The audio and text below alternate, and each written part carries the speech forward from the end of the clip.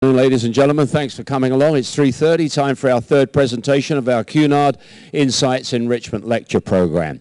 Uh, it's always a subject, I think, that fascinates people. And it's a repeat uh, to the Queen Mary 2, because he's been here before. It's always a pleasure. He's also got several books that he's written. Uh, he'll be doing book signings uh, during the voyage and uh, he'll be reading some excerpts from that book during this presentation. He's uh, got three advanced uh, degrees from Columbia University and uh, Berkeley, and uh, he's talking all about space. Mars. Is there anyone out there? I wonder if there is. Please welcome him with a nice hand, Lawrence Kuznetz, Dr. Lawrence Kuznetz. Hey, Ray. Thank you. I just start back as why is this a a place of fascination. Great pictures, great photographs, the latest of what we know, the latest of what we've seen, taken by the two wonderful uh, rovers that are still on the surface, Spirit and Opportunity, on different sides of the planet, as you can see.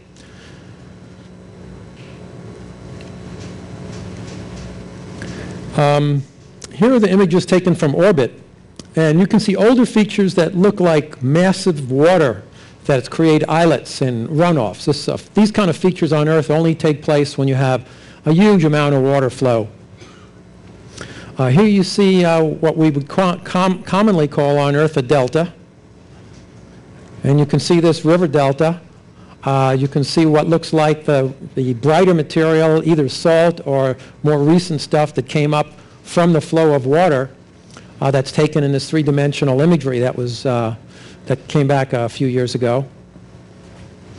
When you see this, uh, you realize massive amounts of water had to cause this. Where is it? It's nowhere to be seen anyplace. Uh, here's another one. This is the rim of a crater, and you look at the rim and you see these sharp, dark lines from the top. Um, if those lines were very, very old, they would not be so sharp and they would not be so dark.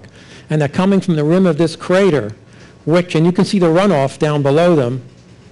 Um, and there's another image of that coming closer. And here you see a crater filled with ice.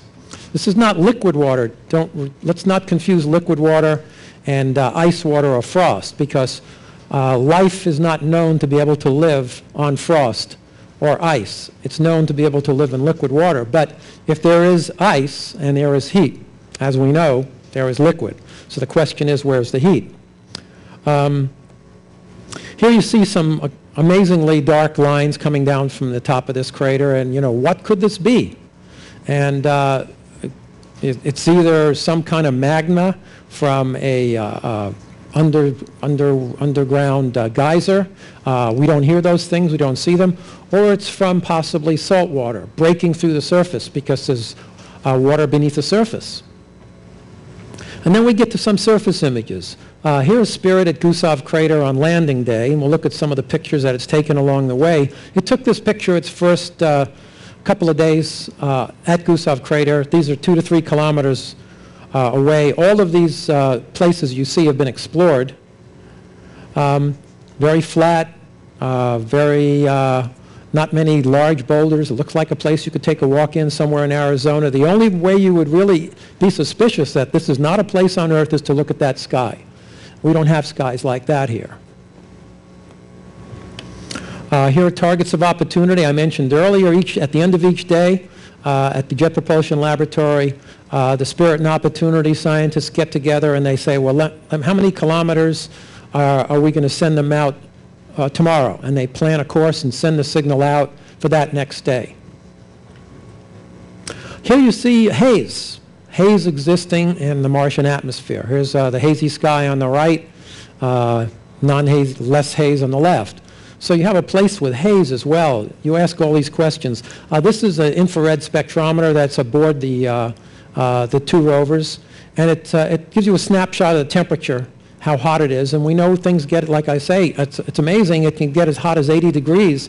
And because the atmosphere is so thin, it can be 20 degrees below zero at your feet and 50 degrees above zero at your head because the air is so thin and heat rises. So it's a very unusual place in that regard. Here's another picture of an infrared uh, spectrometer.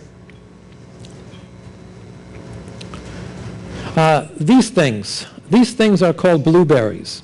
And uh, blueberries uh, are surrounding this little circular cut that was made by a drill called a rock abrasion tool. It's a round drill that drills into the surface to look to scrape away all the outer stuff so you can determine the minerals. The instruments on, on board the two rovers determine the minerals. But I want you to pay a particular attention to these uh, blueberries because if you go to southern Utah, you will see blueberries all over the place. And uh, the blueberries in southern Utah look remarkably like the blueberries on Mars. And here are some more pictures of them. Uh, they're interspersed between these rocks in what looks like a flow path uh, of, of something that carried them. Here's a close-up of one in the flow path. Now, the interesting thing about the blueberries, they can only be formed in liquid water. They kind of precipitate out and form in these little spheres, and yet there's no liquid water anywhere. In fact, the depth and the amount of these blueberries and the location of all these features I've been showing you is vast, and it's all over the planet, and yet there is no water to be seen. And the only way there could have been that much water is if the atmosphere was a lot thicker than one one-hundredth of ours. And the only way that that could have happened is if Mars was a lot warmer than it is today. And uh, we have some clues here because we have things on Earth called extremophiles. These are microorganisms that can survive under extreme conditions. Streptococcus mitis was found on a, brought back from a camera screw, returned from the moon, and, and cultured back to life after five years on the lunar surface where it's totally dead. So we know that certain kinds of bacteria can survive. We have thermal vent smokers. We have bacteria that can survive in thermal vents, sulfur bacteria, uh, Bacillus infernus, which uh, extremely hot Deinococcus radiodurans, which in atomic reactor cooling tanks of all places.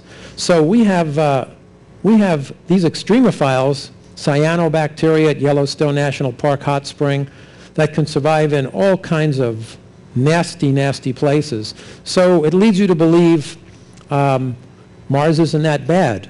And in fact, I'd like to conclude this with this uh, picture that I took in my mother's condo parking lot. And uh, here you see in a, you know, a, a wall next to an outlet, and there's a little plant that managed to break through because life finds a way.